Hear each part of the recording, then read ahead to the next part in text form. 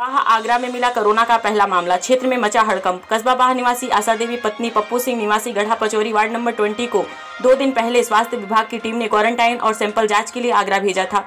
उक्त महिला थाना न्यू आगरा के निजी अस्पताल पारस हॉस्पिटल में पिछले कुछ दिनों से इलाज कराने के बाद घर लौटी थी। स्वास्थ्य केंद्र अधीक्षक बाह अजय विक्रम सिंह ने बताया कि महिला के आज कोरोना पॉजिटिव पाए जाने की पुष्टि हुई है।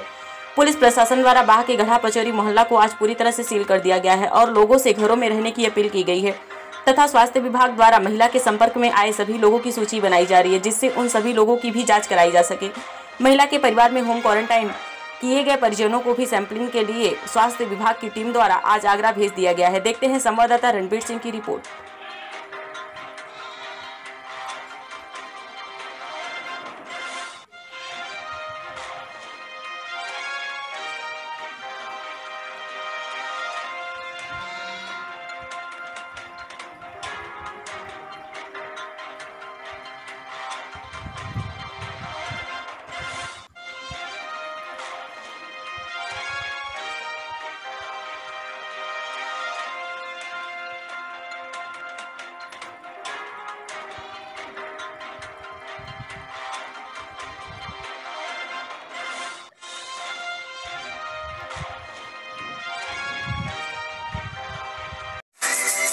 जनवाद टाइम्स की सभी खबरों को लगातार देखने के लिए चैनल को लाइक, सब्सक्राइब और शेयर ज़रूर करें। धन्यवाद।